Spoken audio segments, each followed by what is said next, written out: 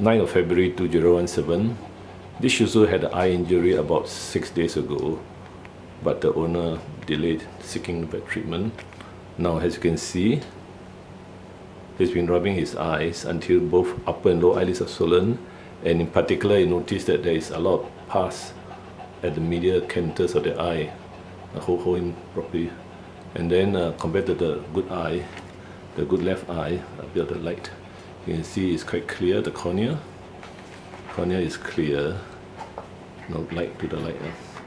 Cornea is clear and uh, and there is no eye discharge, you notice? There's no eye discharge, we don't shake too much. Yeah.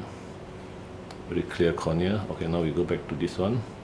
You can see it's swollen, the left eye, and it's in, and uh, the fluorescent stain test stains the ulcer green. Now you see, uh, you can see that this uh, is quite central and uh, it's quite a big area. You can see the small hole there, a dent in the cornea, in the center of the cornea, and the keratitis inflammation spread around the, the hole, the, the dent, and uh, this is quite a serious case.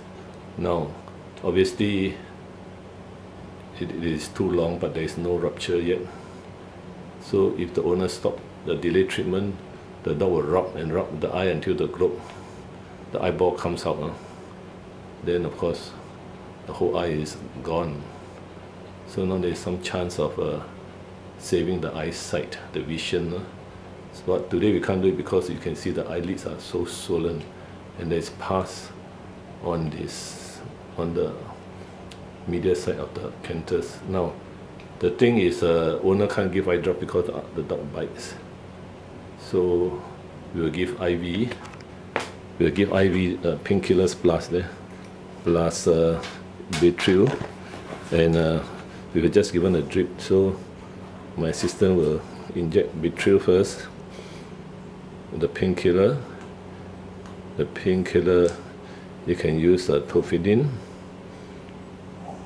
although although uh, the book says that shouldn't use prednisolone IV. Okay, so small drop here.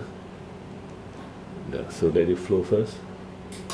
If flow, it would stop the pain. Okay, then the next one will be the Baytril. Baytril is about 0.8. A slow IV again. Slow IV. So then we would do the operation tomorrow whereby the eyelids are stitched up and down. It shouldn't be so swollen tomorrow, shouldn't be so inflamed red. No?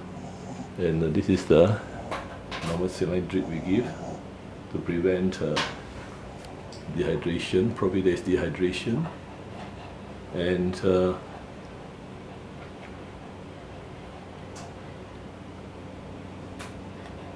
and the other thing is we take a blood test to check the health status of this dog before surgery, like the kidney, liver, and of course the white cell count, any leukocytosis, bacterial infection or not. So everything will be on hold till tomorrow morning. So the dog can go back to the to the cage to rest.